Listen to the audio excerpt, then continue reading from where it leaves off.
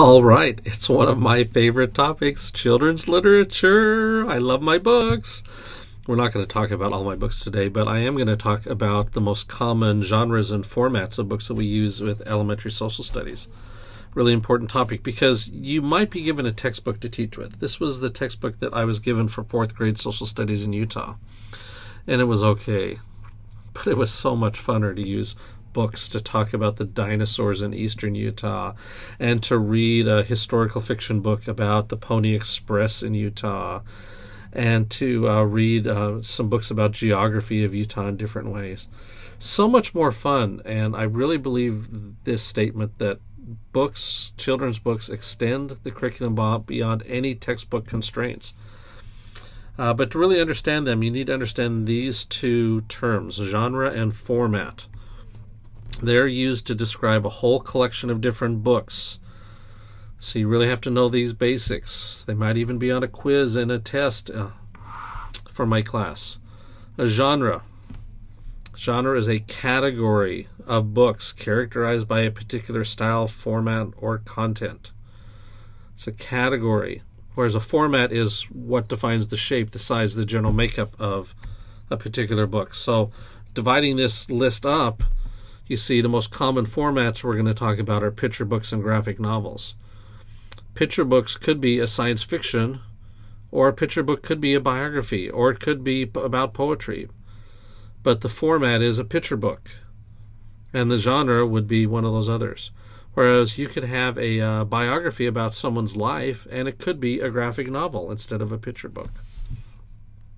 So understand these basic differences a genre, category, a format is the size and shape and how it's kind of laid out. Now, um, taking that consideration, we're going to talk about four main things here. We're going to talk about two genres nonfiction, pretty self explanatory, it's all true, and historical fiction, which is kind of interesting. We'll, we'll define that more in a moment. And formats, picture books, and graphic novels. Now, you understand when we're looking at these books, they might fit a number of categories, like Moonshot here. This book, Moonshot, by one of my favorite authors, artists, Brian Floca, is a nonfiction book. It has beautiful illustrations, but it's all facts about the Apollo 11 mission. But since it's a picture book, it fits into that picture book format and with just gorgeous, gorgeous pictures in it. So understand that books fit in both a genre and a format. This is from a series called Nathan Hale's Hazardous Tales and it is the Underground Abductor uh, about the Underground Railroad. And it fits as a graphic novel. And we'll talk more about graphic novels in a minute. But it's historical fiction because not all the things that happen in this book actually happened in real life. It's been made up. It's about Harriet Tubman, true, but the words and some of the situations are made up. So it's fictional that way, but it's based on a real person, a historical event. And uh, it's also nonfiction because it does contain facts about the slave trade, the triangular trade. So this is kind of an interesting one, fits in a number of different categories. So don't get too stuck on fitting a book in a specific genre or a specific format. They might uh, be um, they might go across several different ones. All right. So, we're going to talk about how books might fit in these categories about the same topic. So, here's the topic of the Transcontinental Railroad. Great topic, and I can find a book in each one of these. Here is a nonfiction book, which is wonderful. It's not a picture book or graphic novel, it's another format. And here is a novel that's in historical fiction. But here is a picture book called Coolies, which would also fit in the historical fiction category. And here is a graphic novel, which is like a comic book, which is also historical fiction based off of true events, but not all of it is true. So let's first of all talk about these nonfiction books. Nonfiction simply means it's facts, you know, and here's the moonshot again. Often it will contain pictures or text or a combination, especially for kids because they want to keep the interest. The great thing about these nonfiction books is there could be at a variety of reading levels. So here are three different books about the Wright brothers. And it should be pretty easy for you to see that the one on the far left, that's at a pretty easy reading level. In fact, there's only three paragraphs of words on that page. Whereas the one in the middle, First Flight, That only has two paragraphs, but the paragraphs are much longer and have larger words, harder reading difficulty. Whereas the one that's sitting right above me, The Wright Brothers by Russell Freedman, much more text based, not as many pictures, much more difficult to read. So you've got a variety of reading levels. So you could be talking about this subject and have your students have differentiation with uh, books at their reading level, which is a great thing with nonfiction books. The other thing about nonfiction books, I call them my grazing books. These are the books that if I told my students, go find a book to read for the next 15 minutes, these are the type of books that you just kind of pick up and you just kind of look at and enjoy. You don't necessarily read them from front cover to back cover. You kind of like a cow or an animal grazes out in the field, you move from part to part. That's the way we do nonfiction books. You kind of look around and see all sorts of interesting things in the books. Um, the other thing about nonfiction books is they come in this huge variety of formats. Um, Torpedoed uh, is a more of a novel, whereas Independent Dames is a great picture book. Isaac the Alchemist about um, Isaac um, Isaac Newton is more of a, a read. Uh, this incredible cabinet of wonders is a lot of fun. It has flip doors you can pull up and look at. So, huge variety of things in nonfiction books, huge variety of formats, lots of things to offer that students, and a really fun way to engage them in facts about real life events and people. Um, the second category is just a little bit different. It's historical fiction. These are stories that are based off of real life events like the U.S. Civil War, but the actual stories have been made up. They're based off of real facts. They might even be based off of real people like Bull Run is, but for the most part, it's a fictional story that's been created about that event. Now, historical fiction are great because they really personalize history. This is a book, I, I would read it to you, but I would cry. I always cry when I read this book. It's called Pink and Say well, another one of my favorite authors, Patricia Polacco. Uh, but it's about two boys who join um, together in the Civil War and survive. Well, one of them survives, one of them doesn't. But it personalizes the whole aspect of what the Civil War meant to different people. And it personalizes it enough to make me cry. So go read this book, Pink, and say, have your tissues ready. Uh, historical fiction can also present some really complex issues, some things you maybe never ever thought of. Uh, the book Number the Stars, which is a common read in fourth, fifth, and sixth grade, is all about the Holocaust in World War II. That's a complex issue, but the book's uh, relatable enough and readable enough that you could use it in uh, fourth, fifth, and sixth grade. Prisoner 88, it is about a young boy in Idaho based off of a true story. But he was imprisoned in the Idaho penitentiary for shooting his father, who was beating uh, and abusing his mother. And he was put in prison. Historical fiction. Uh, Forge is about the Civil War, not the, excuse me, not the Civil War, the U.S. Revolutionary War, but it's about slavery during the Revolutionary War. So complex issues in here. Um, the other thing about historical fiction books is they're great, what I call conduit books. Like this one, John Paul George and Ben, a hilariously fun book, uh, completely made up. Well, not completely made up. It's based off of true people and facts, but it's a fun book to read. But that might get a student interested in reading uh, a longer book about Thomas Jefferson or someone might read uh, the historical fiction book I Survived, The Sinking of the Titanic, and that might get them into more of the books about the Titanic. So, great way to uh, to get them involved. Now, let's talk about some formats of books. Picture books are probably the most common because they're the funnest to look at. I mean, their illustrations are are the whole uh, kind of delivery method of the book. So you get a lot of details and content from the illustrations, and the illustrators for these are fabulous. Here's a great picture book about Bass Reeves, a U.S. deputy marshal. He was black, a former slave. Fabulous picture book. The thing about picture books is they can be a wide variety of genres.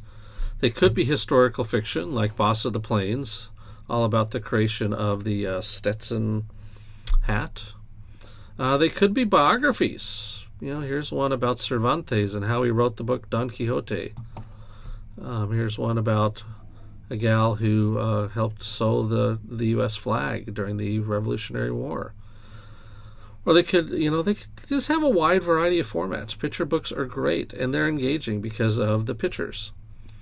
Uh, the other great thing about picture books is how they can really address complex topics, which really can lead you into a good way to introduce um, a, a bigger unit. For instance, A Different Pond is all about a boy whose father came over during the 70s during the Vietnam boat lift and lives in uh, Minnesota. And it talks about the complexities of these first generation Americans who are also living within the cultures of their family and the complexity that that can bring into those relationships between father and son and living in between two worlds. Uh, here's Flowers for Sarajevo, all about the conflict in the town of Sarajevo, Yugoslavia. Um, really good ways to introduce topics. So enjoy some picture books out there. Uh, picture books are never too old. Students are never too old to enjoy a good picture book. I have read picture books to high school students and they love them. I have read picture books to you as college students and I hopefully you will love them. But don't be afraid to use picture books with whatever age level you teach. Now, the last format that really gets used a lot and is becoming really popular in social studies is graphic novels. It's kind of a comic, but it's not a comic, it's from Japan they often really can get these big historical events or topics and really condense them into an understandable, relatable way. And here's some of the ones that I've read. But you can see these are not small topics here. I mean, how do you take the uh, the invention of the first atomic bomb and make it understandable for kids? You make it into a comic book. Graphic novels are great at this they have a, a, less complex text structure, but they can really address really complex things. Now, some of these things I wouldn't, some of these books you see on the screen, I wouldn't necessarily use with elementary kids, like Maus. Maus is a graphic novel about a extermination concentration camp in World War II. I would use it in high school, but I would be really hesitant to use it in elementary school. Um, so don't be don't be eager to maybe grab one and just use it without looking at it first because they can have some really complex elements to them. Uh, but they also can be very simplified and really interesting. And once again, they're gateways. You know, if you can get a, a young reader who doesn't necessarily like to read but enjoys the pictures, get him into comic books. He may read this graphic history of Gettysburg as a comic and really like it, and then want to go explore more about Gettysburg or the Civil War. So graphic novels are great things, great books that are out there. Now, the last one, this is kind of the bonus one I want to throw in, are biographies and autobiographies. You know, these accounts of a person's life. And I want you to know on these next few slides, these are all biographies, autobiographies that have been published in the last two years. So these are all some of my newest books. And they're probably the most common book that gets published for um, elementary school kids. The great thing about biographies and autobiographies is they're really meaningful. We talk about that in elementary social studies. Remember the NCSS statement that social studies should be meaningful? These are meaningful to kids. These are about people doing real things. This is about Mary Blair here, who was an artist. And you probably know her work because she designed all the artwork for It's a Small World and Peter Pan and several other um, of the Disneyland attractions, and she did it because she loved art, and kids can relate to that. They love art. They they can get to that. Boys who love football might read about the racism that the uh, 1947 Harvard football team uh, experienced because they allowed a black member of their football team to participate. Uh, these are just really meaningful stories to kids. Real people doing real things. Here's a man who, as a boy, started planting one tree a day for the last 40 years of his life and has really replanted a lot of forests in India. Really an amazing story. Now, the second thing about biographies and autobiographies are uh, value based. And remember, we talked about values. Uh, social studies is a value based proposition. You want to teach values. And biographies can do that. You can learn about a soldier, a Hispanic soldier who comes back from World War One into a nation of inequality, and, and you can see the values that he chooses and the choices he makes. Um, here is Sue, who is the scientist who discovered a dinosaur which she called Sue. A T Rex, one of the most, actually, I think it is the most complete T Rex dinosaur ever discovered. But it's about her journey and the decisions she made as a young woman who really was not encouraged to go into science and the values and choices she made. So, some great uh, value based education in biographies and autobiographies.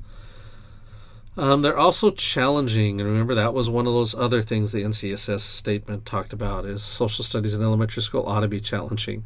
There is a book out there for everyone, and not just picture books. There are more complex books uh, for kids to read. This book, "What Would You Do with a Voice Like That," is a wonderful book about Congressman Barbara Jordan, one of the first black um, congresswomen in the U.S.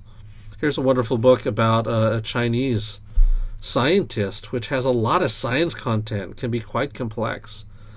Uh, here's a novel about a Hispanic uh, actress, Diane Guerrero.